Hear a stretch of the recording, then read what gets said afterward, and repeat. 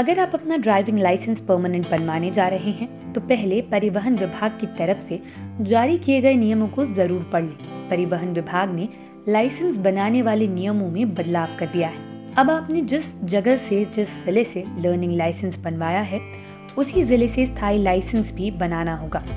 बढ़ती हुई सड़क दुर्घटनाओं के बीच परिवहन विभाग ने लाइसेंस बनाने के नियमों में ये बदलाव किए हैं। अब जिस ज़िले में लर्निंग लाइसेंस बनाया गया है वहीं से स्थायी लाइसेंस भी बनेगा। दूसरे ज़िले में स्थायी लाइसेंस बनाने का ऑप्शन अब खत्म कर दिया गया है।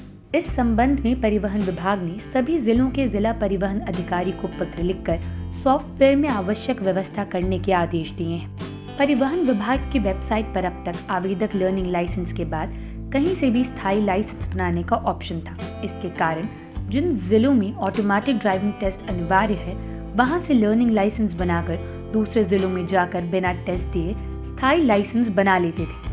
इससे वाहन चालक गाड़ी चलाना नहीं सीखते थे और दुर्घटनाग्रस्त हो जाते थे।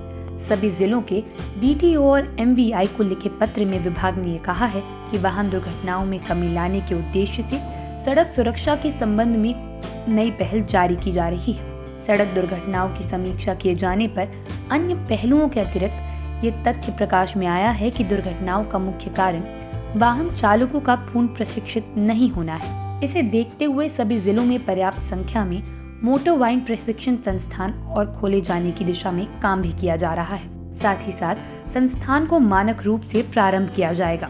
स्कूल और संस्थान खोलने का काम उच्च प्राथमिकता के साथ करने के निर्देश भी दिए गए हैं। साथ में बिना निबंधन के ड्राइविंग स्कूल पर शिकंजा कसने की बात भी की गई है, क्योंकि राजधानी में दर्जनों ऐसे ड्राइविंग स्कूल खुल गए हैं जिनके पास किसी तरीके का कोई निबंधन बिल्कुल नहीं है। पटना ज़िले में 3 जनवरी से लेकर 15 जनवरी तक ऑनलाइन आवेदन के ऑप्शन सहित ऑनलाइन टेस्ट का भी स्लॉट बुक नहीं हो रहा था। इसके कारण हज़ारों आवेदक जिनका लर्निंग लाइसेंस फेल हो रहा था, उन्होंने दूसरे जिलों में जाकर स्थायी लाइसेंस के लिए आवेदन कर दिया है। स्थायी लाइसेंस के लिए तेईस सौ रूपए का चालान कटाना पड़ता है। स्लॉट बुक करने के लिए अलग से पचास रूपए भी देने होते हैं। इससे हज़ारों आवेदकों का लाइसेंस फंस सकता है।